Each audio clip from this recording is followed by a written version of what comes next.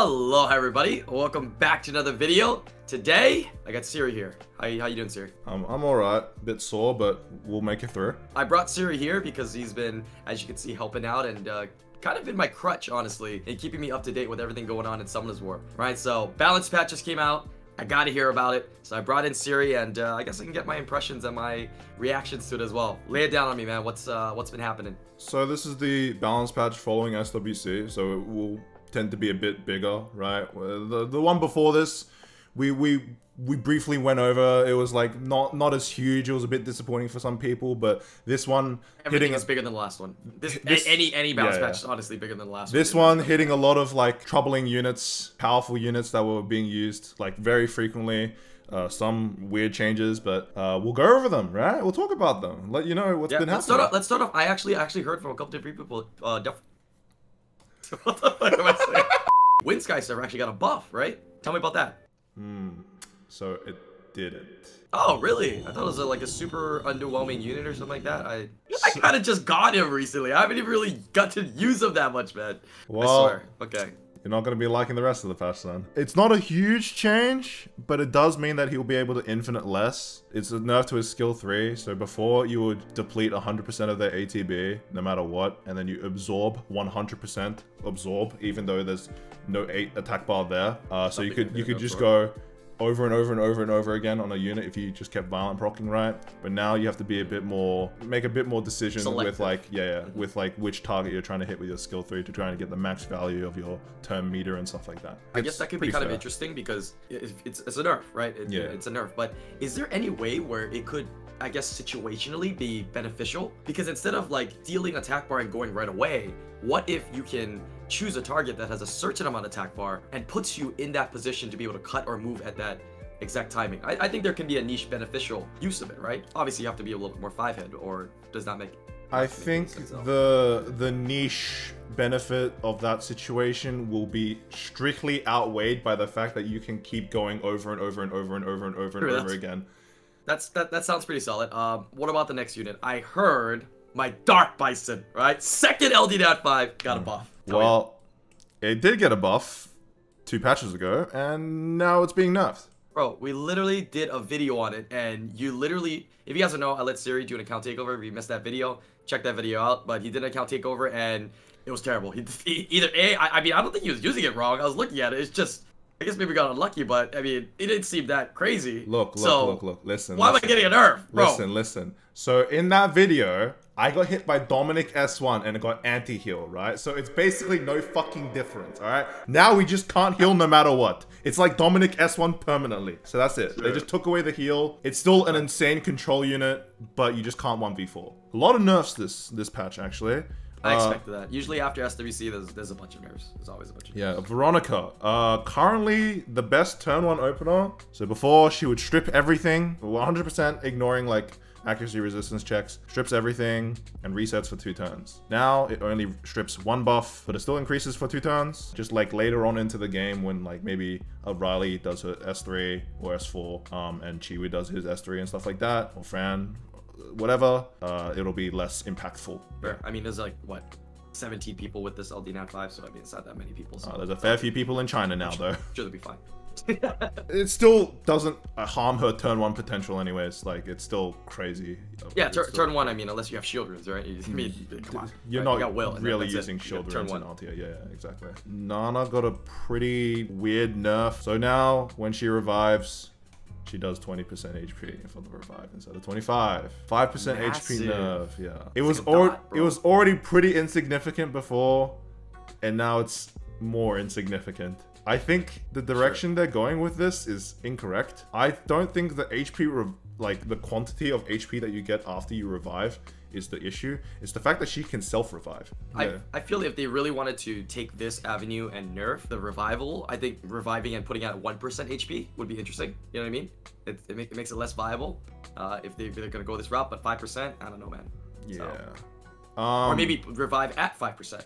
You know, something very vulnerable. Sure. people have been saying she shouldn't be able to. She, like, if she were to self-revive, she would take up two soul stones instead of the one that she's given at the start of the game. So she can't immediately self-revive. So you can have some avenue of counterplay to like maybe you focus down her immediately and then uh, you have to try and protect her so that she can get some value going into the game. I think that's a better way of approaching things, but Com2uS seems to just want to adjust numbers. We'll see how this lands. I don't think it moves the needle a significant amount. Uh, I It's think nice to see them targeting it though. You know what I mean? Because Com2uS is known to uh, you know do some nerfs, and then like if it's not enough, they actually come back and revisit it. Yeah, so at least uh, for sure. at least we know that they know that it's you know on the block. it's strong, chopping yeah. block. So I know that you have not been playing Siege, but this lady has been dominating the four-star towers in Siege. it only Uh, took how many years from her HOH coming out for her to be uh, viable? Yeah, dude. I said all my new maze. Oh my god, I was so upset when I realized. So now, instead of absorbing 25%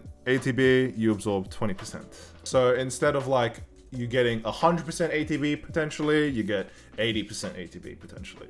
All right, what's next? Let's hear the next one. Finally a buff, right? Well, okay, so Hey Gang, his passive used to be you get 25% when you get stripped. Now it's 15, but you also get 15 from when you strip the enemy. I don't know how much it'll affect his performance. He wasn't really being picked before. Yeah, you know what's interesting about this unit is that when this unit first came out, I don't know if everybody remembered, but this was the intended effect we thought it was. That it Yeah. was- you know, both. You guys remember that? Like Yeah. everybody was just like, "Oh my god, this unit is gonna be massive, game changing!" Right? And then it just turns out that it's just when enemies remove harmfuls, and then it kind of sat for a little while, and then slowly got into the meta. But yeah, so it's it's kind of interesting. I just kind of want to throw that out there that this was what we thought it was gonna do when it first came out. A popular unit that people have been moaning about, the Light Ryu. Long. Oh, I'm, I'm waiting for the buff for Rebel Long. Light Ryu got a got a buff. I think this will probably be the final buff he gets. Uh, so his S3 now also gives himself a crit buff, crit rate buff. Oh, that's nice. Wait, So- doesn't he crit rate evolve anyways, or crit rate? awaken? Uh, I don't know. I don't know what he awakens into. I'm pretty sure, dude. I mean, I'm I'm pr- pretty casual now, but like some, some I don't know why. It's just some things just still click in my head the moment I I I, I hear it. All you need is a defense break to set this thing up. It's pretty self-reliant. It sounds pretty good, and it's and it's Sounds a solid. it's a light unit, so no glancing, right? On the same line, the Ryu and more, and also Ken got an S2 buff. It is Instead of- crit rate awakening. Haha. It is. It is. Just take a little while. Yep, 50% crit rate awakening. Nice. Yeah. Wow, that's you That's get a lot of crit rate. that's a give lot of crit rate. You get sixty percent crit just out the gate. so they made it weird. They give it a chance to. There's like a range of absorb now, so you can go from 10 to 20 instead of just the flat 10% absorb Absorb enemies attack bar from 10 to 20, 10 to 20%. per hit. It's it's Okay. so weird because more is a It is popular little unit. I don't know. I think okay, this is the biggest winner of the patch. So uh, when he specifically when he procs his passive to counter, uh, he gets extra stun chance and Oh, wait, what's his stun chance originally then? Uh 35. Uh, Oh, okay, that's no, that's pretty no, high. then. 50, 50. It's a hundred percent chance to stun. Oh, before resistance. Oh, that's nice. Yeah, That's nice. uh, Okay. it's annoying as shit. I've already fought a lot of them. And that, that thing is really hard to kill sometimes, man. Yeah, thing, yeah. Like it, it just takes it takes no damage, bro. It, it doesn't take any damage. Some a few paladin changes. What's it called? Uh, Which one? I forget her name. Josephine? No, no, no. We'll talk about the fire one first. Ophelia. Yeah, yeah. Okay, so Ophelia got immunity. Bro, I'm the one that doesn't play the game as much anymore, man. What the heck are you doing? I don't. I don't know names of relevant units. I mean, irrelevant units. Come on, man. So Ophelia Nice, got S three, you. got some immunity. Yeah. Oh, okay. That's pretty- nice. I think it's like what two turns already before, Yeah. so it's three now. Uh, no, just one turn. One turn immunity for for AOE. Oh, AOE, oh, AOE, oh yeah, yeah, oh AOE yeah. immunity. Grant, grants immunity. Sorry, sorry. Yeah, yeah. She sees some use in That's nice. Siege. Uh, now maybe a bit stronger. And then uh, Josephine. Uh, some people are calling this a buff, uh, which it is if you build a damage because she can. She always crits with S1 now, uh, which is kind of cool. But before it used to never glance, which means that you could always land a stun. Yeah, that was the nice thing about her. Yeah, yeah. So it's Oh. a it's a bit of a balance. So instead of like you always stunning a wind unit, you'll always crit a wind unit. Yeah, because the thing was, you could you could bring it in and you would be able to use it against wind units. But Yeah, yeah. now you it, will- you won't have that advantage. But if you bring it in any other scenario, you have quite an advantage because the damage is quite high. She's Yeah, yeah. On decent crit damage. You know, high level ones actually kind of hurt, man. Interesting. Always lands as a crit, bro. Bro, zero crit rate, one million crit damage. I f- we might see some uh, full damage Josephine videos, maybe coming to this channel soon. Perhaps you have yeah, one, right? let's give that a shot. Let's give that a shot. Uh, Of course, I have a Josephine. I mean, you say of course, but I've I played on your account and you were missing so many relevant units. Okeanos got a change. Uh, don't know if he'll, he'll see huge usage, but now he strips two time, uh, two buffs with the uh, Oh, with the S2. so same skill, but he strips two buffs. Yeah, so you still strip nothing. So basically, what what happens is you bring him into RTA, you first turn him, and then he still misses. yeah. you know, with additional damage on like a full Swift team, he could see some usage with with like a lot of DPS. Sure, sure. Yeah, no, there, not- are, there are situations, Yeah, though. I'm, I'm, I'm joking, obviously, but there are situations, especially if you're up against Wusas or you're up against, you know, different comps later on in the battle, right? That, you know, have uh, multi buffs. You don't have to worry about, okay, I'm going to try to strip. Please strip the immunity. Yeah, please, yeah. You know what I mean? Like, it, it will strip too. So it, it's kind of nice. right? Every, everyone no suddenly turn becomes everyone suddenly becomes religious when they're relying on an Okeanos S2. Yeah, Okeanos is like the most YOLO unit. You know what I mean? He's so good, but like he's so bad when he's not good. Yeah. I don't know. That that sounds so stupid, but he's good when he's good and he's bad when he's bad, dude. I don't know. It's like how Sekhmet used to be, but now Sekhmet's good. Uh, Chiwu, uh, it's not really worth mentioning. Chiwu got some damage. Damage. Uh, What That's that's massive, dude. I mean, yeah, it is. I It's da- damage scaling to I could have speed. used that. I could have used that back in the day when I tried um my damage Chiwu. I mean, yeah, but now you just get damage according to your speed. So if you have 320 speed Chiwu, it might do some damage. Uh, so Assassin's got some pretty cool changes. I think Stella's pretty worth men- is worth mentioning. Could could see some interesting uh, cleave comps with her. So now she instead of reducing attack bar with her S3, she will absorb attack bar. Oh, And she also resets her cooldown when she kills units. So you can kind of go over and over and over and over again, which is kind of cool. Uh, I don't know if it'll have the same effects as old Oliver, where you could hit a unit with 0 ATB and then absorb 100 ATB out of nowhere. usually that's the mechanic. Unless they specify um, otherwise, yeah, usually that's how the mechanic Yeah, works. that's usually gonna be the mechanic. So it, it could be nice. We'll see. Yeah, yeah. Uh, could see some interesting comps with her. I haven't played around with her yet, so we'll see. Oh, this is worth mentioning. The the specifically for Sath 2A, the the Fire Grim Reaper, uh, it no longer glances with its dot if there's already a dot there. so uh, nice. people that run the the Sath Tatu GB12, uh, you can have your Melias move first, apply a dot, and then your Sath will always land a dot. So it makes that run more consistent. Pretty cool. Some of the Phantom Thieves do a shitload of damage now. Oh, okay. Phantom Thieves, bro. That those units are like the They're, 1st they're units in the game. so old. Yeah, they were like the And first units that released. Dude, I remember back in the day, like YD would always use like it was YD always used the dark one or something just to do damage just for fun, but like they suck, dude. There, there- actually, there was a time when they were good. Like the water one was Yeah. very good. Like er, uh, back, Yeah, back, Lewis, back, back in the Lewis still see some use, but yeah. Uh, the the the dark one now does even more damage. Surprise, surprise. Uh, Okay. So uh, when you land your crit, your crit damage is now fifty percent more. Oh. So- okay, that could be pretty massive. That that, that could be a big new. Yeah, That's a lot. Could be yeah. Skill two has pretty good scaling from what I remember, so it's a lot of damage. And then uh, let's see, the Hogs got some cute little changes. Uh, the the dark one, if you uh, is kind of fun. I'm, I haven't personally played with it, but I saw a Sean B video on it or something. Uh, he Oh. now he now has one less cooldown on this skill. No, no, one more cooldown on this skill, but you gain Oh, a turn. be really good. You gain a turn after using it, so you can That's so worth. so you can S3 What? into S2, which is kind of nice. Wait, they literally added a skill cooldown so that it would be the same cooldown. Yes, but you gain Wait, gain that's an actually still additional five hit.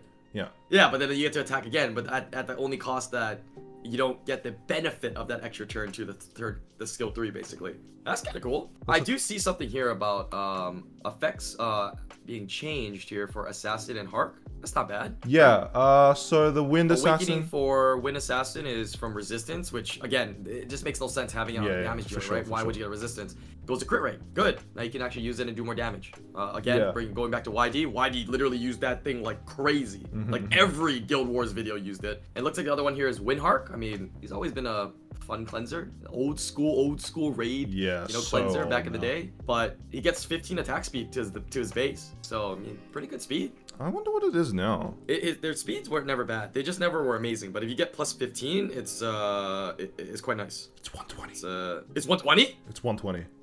Ooh, that's kinda pretty nice. Yeah, doesn't he get a speed buff as well? Uh, Yeah. Wait, yeah.